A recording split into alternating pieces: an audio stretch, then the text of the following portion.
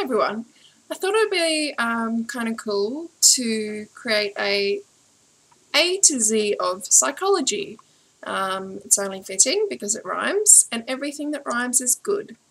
Um, so basically what I'll be doing over the next 26 videos is explaining a psychological concept or theory um, beginning with whatever letter I'm up to. So today, it being the beginning, and the beginning of the alphabet is A, um, I will be discussing attentional bias. Now, let me start with something that you might hear quite a few religious people say. Um, they'll say, oh, I went to church and I prayed and I prayed and I was thinking about Jesus and thinking about God. And then on the way home, I saw all these signs. I saw Jesus' face in the clouds. I saw signs that just reminded me of Jesus and God. I saw crosses. I, I felt I felt like Jesus was sending me a sign. Now, are these people crazy? No. As much as we'd like to think they are, they are perfectly human and they are experiencing something called attentional bias, in which when you have thought about something for a while or something is very relevant to you, you will actually seek out those experiences or those sights or sounds or smells or um, and it will become relevant to you as you are biased towards paying attention to those details.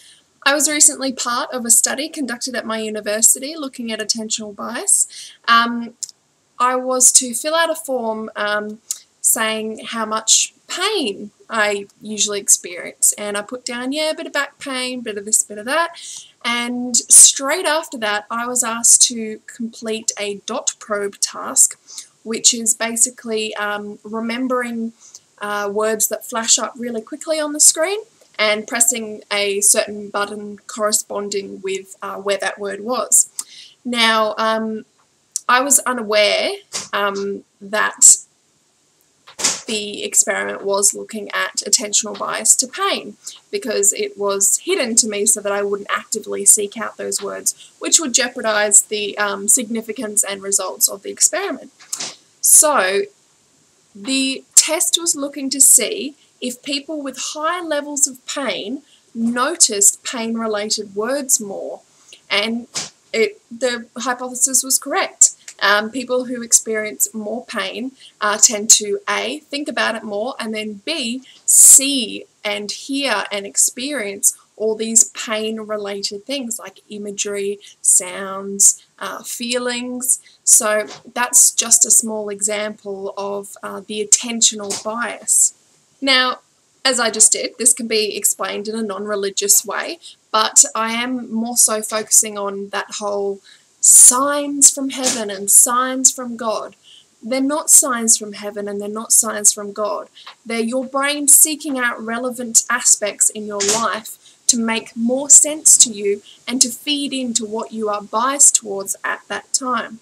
So when you see Jesus on a piece of toast or uh, Mary in a bit of wood, um, they're not really there. That is your brain being biased towards seeking out figures that mean something to you, and it is also your brain um, seeking out faces, which is very important to human brains. Um, years and years of evolution has taught us to seek out faces if we can uh, amongst the bushes or desert or where, where, wherever we were living, um, it was very important to be able to make out faces in that um, kind of vast area.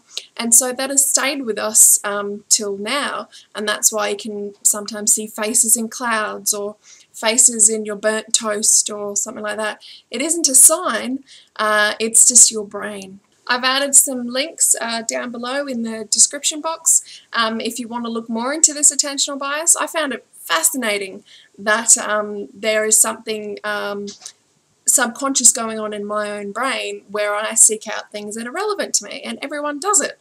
Uh, it just so happens that a lot of people who are religious and then seek out religious things add more meaning to um, what they've found and um, the fact that uh, their Jesus in toast um, is a sign.